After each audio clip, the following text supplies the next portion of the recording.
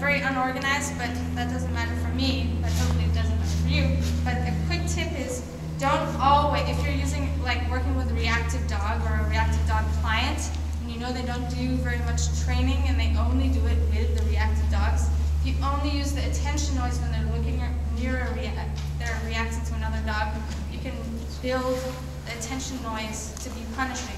So you make your noise and the dog goes, where's the other dog?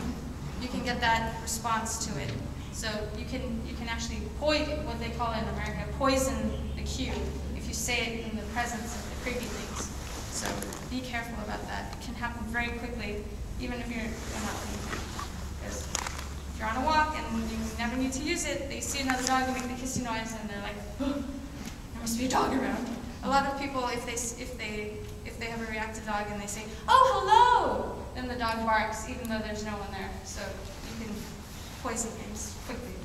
Um, thing. I will show you. Who can I use? Is there a dog that doesn't know like an, an attention noise or